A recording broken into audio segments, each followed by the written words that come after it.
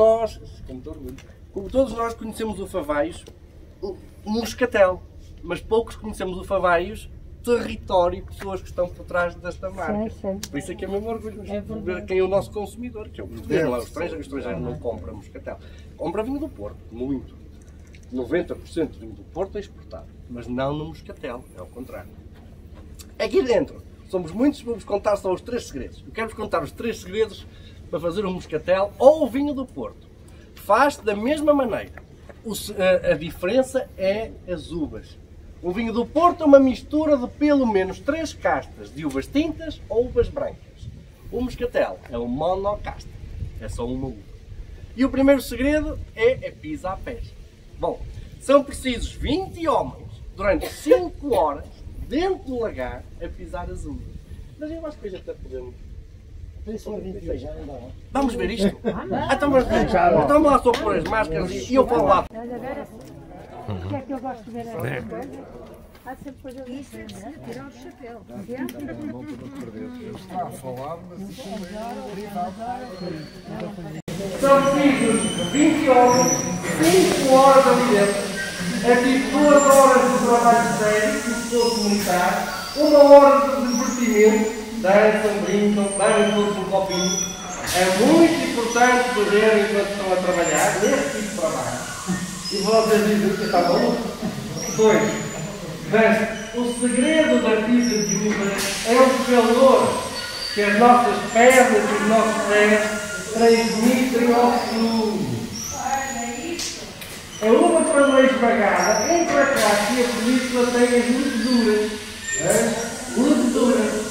A quando entra em contacto com o oxigênio ganha vida. E se tiver com 14 a 16 graus de temperatura, ela agarra o grão de açúcar e transforma em etanol. São as fermentações alcoólicas. Mas os lagartos eram feitos com granitos, logo são muito frios. O segredo da pizza de uva não é só esmagar a uva, mas é sobretudo aquecer o mosto, o líquido e as massas, carne, galinha, polpa. Quando atingimos 14 a 16 graus, estas leveduras espertas agarram o grãozinho de açúcar e transformam-se em vinho, em álcool, em etanol. São as fermentações alcoólicas que ocorrem aqui dentro após este processo. Se dermos vinho aos homens que ali estão, o vinho é um vasodilatador, portanto aumenta a nossa circulação sanguínea. É por isso que ficamos quentes nas unidade do nosso corpo. Orelhas, nariz, o dedo, o pé. Logo mais rapidamente, uma pergunta. Transformar todo o açúcar em vinho o sistema de vinho que meta, provavelmente durante a nossa alimentação. Vai? Ok. É a mesma açúcar que faz o vinho de meta, faz o vinho do porco ou do que Brian faz o vinho de meta. 5 para o corpo. O conselheiro é que passasse 3 dias após a talagada, abrimos o lagar. Abrimos o lagar com um sumo que só tem 3 a 4 graus de teor alcoólico. É um sumo tão doce que não é vinho. E a este sumo nós adicionamos água ardente vinho. Uma água ardente tão forte que a lúcura não resiste forte. Ou seja, paramos a fermentação, mas conservamos o açúcar natural. Esta aqui é a função mágica que nós levamos com estas bombas até os nossos balseiros ou cubas, pipas pequeninos ou pineiros, os grandes, para o seu terceiro segredo. E é o tempo de estágio. São precisos pelo menos 3 anos dentro das pipas para termos um bom vinho à nossa mesa. Temperatura humana para início de fermentação. Água de uva. E paciência. Mas estáis no armazém com 100 anos. Então o pavai está guardado aqui dentro. Vamos abrir as portas e vamos para uma grande pipa. Temos outra prova para vocês.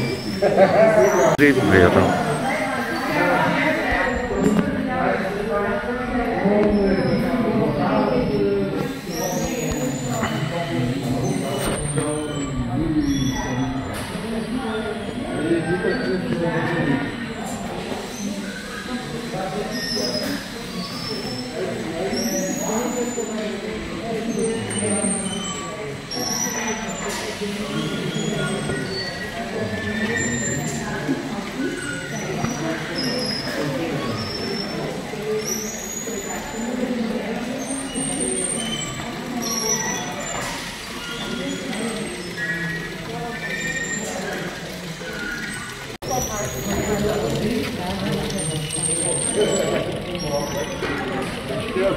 Chama o solar do bom apreciador de vinho.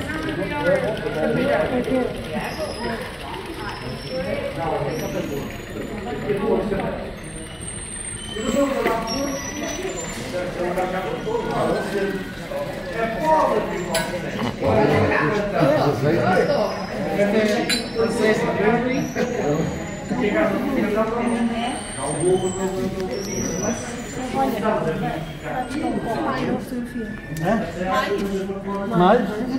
Eu fui primeiro já meu. Eu que ele nem queria. Não, não, nunca. Esta vida de repórter. Olha. É, Eu eu estou a fazer a reportagem, mas não deixo de beber. Continuo a beber. Terá que ser. É pá, isto realmente. Isso que a gente falou na hora do almoço, Eu, ne- eu nesse aspecto.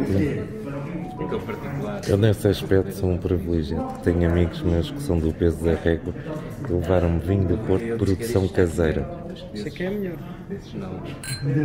E eu agora que eu estava a ver este, e é assim, é tão igual, tão igual, tão igual. Porque o neto que é seguido aqui, como já vem de há seis gerações, continua a ser muito caseiro.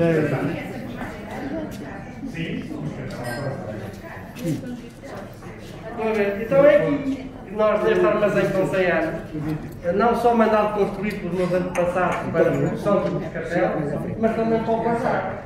Que nós temos tu- no primeiro aqui. tonel Tá de 20 mil litros dos moscatéis do meu pai, com 50 Espera aí. anos de idade. No segundo e terceiro tonel, guardamos os moscatéis do avô, com 70 anos de idade. No quarto e quinto, ah, já não guardamos nada. Devem tudo. Não guardam nada porque. Envia para mim. Não e vender. Ah, vendeu. Depois é. Estás a ver, Plínio? Vou bebendo e vou filmando. São os moscatéis do bisavô com mais de 5 de 20, 120 anos de idade. São dos mais Já tens bateria, se coisa ter mais duas ou três Não se abre aqui uma vez Estas coisas. Eu depois tem que ser prevenido, só que é tipo, uma pessoa não sabe o que vai, acontecer. Já vem à noite, para, para o dia e não Por isso é que eu ando sempre com o powerbank atrás. Não é do nosso armazém, mas é logo para a pipa. Eu não sei, 82. A ver depois, logo eu vou trepar por ali, ou e tudo. Onde é que está o meu? Eu estava aí, ao meu pai. ehm, E o primeiro copo, a sua sopa. Olha que eu estava lá. Que é o meu braço Está a direito. falar no seu pai? direito ali no Moçambique. Ah, pá. Ba- não, o- O Valder, o senhor o Abad. Sorabado. Primeiro copo para o Sorabado. Ele bebe só um bocadinho. Mas só depois de beber, é que agarra na cabenta e aleluia! Aleluia!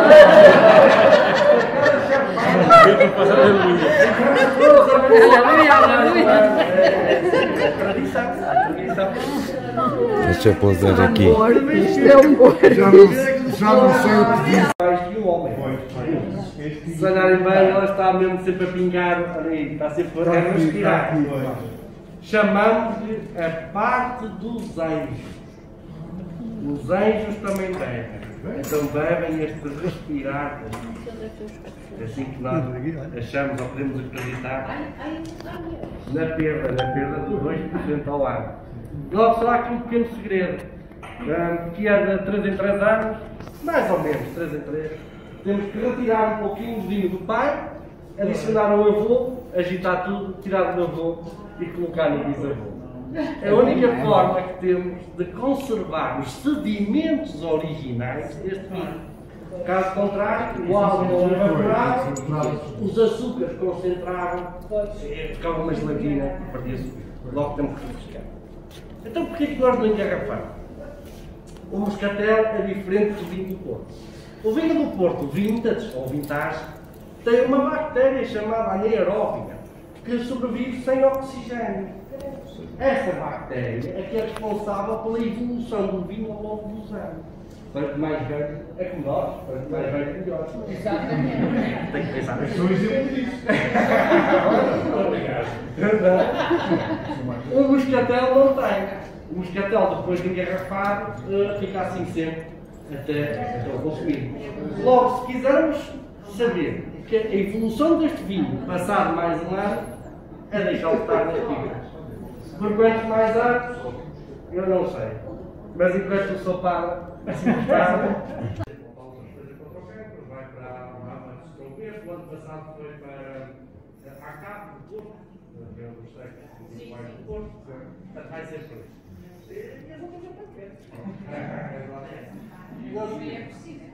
Escolham bem a companhia antes de abrir uma garrafa de vintage. Porque depois de aberta têm que a consumir em 24 horas. Vá, pode ir até 48, mas não digo que sou parceiro. Ups! Ups! É barato! É barato! Temos que receber todos! Quando abriu, perdeu, perdeu! Escolham bem a parceria. Não deixe para 48 horas. Não deixe para 48 horas, amor de Deus. Entretanto, mas não é eu tinha que dar um bocadinho de conforto também, gostador, esta moscatel, claro, mas também que eu queria contar aqui mais uma, uma história, um, que era esta verdadeira, no final da Segunda Grande Guerra, os agricultores no Douro produziram uma pipa de vinho da zona do Roncão, que eles agora aqui para oferecer ao Churchill para agradecer o fim da guerra, ou o bom negócio que trouxe na altura. Um, e o Churchill responde: Obrigado, agricultores, mas poderei oferecer metade desta pipa à Princesa Isabel? Ela vai se casar e é de uma boa preço. E nós estamos, claro que sim, é uma honra. Churchill bebe metade da pipa, mas por ele foi fácil. E oferece a outra metade à Princesa. A Princesa serve estes vinhos na boca do seu casamento. O sucesso foi tão grande na corte real britânica que quando ela vem a ser rainha, a atual Elizabeth II, Isabel II, ela diz: em todos os barcos da frota naval britânica deve haver uma carne com vinho do Porto. Nenhum marinheiro deve ir para a guerra sem antes beber um cálice de vinho. Até os dias de hoje, ainda hoje, até os dias de hoje, esta tradição se mantém. Mas mais importante que isso é que a Rainha Mãe sempre disse: Todos os dias bebo um cálice de vinho do Porto. A senhora durou mais que 100 anos de idade. Eu espero que me aconteça o mesmo. Ah,